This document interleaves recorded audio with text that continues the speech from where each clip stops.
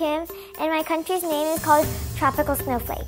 My goal is fair share for everybody.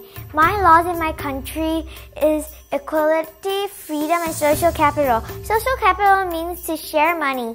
Equality means no privilege.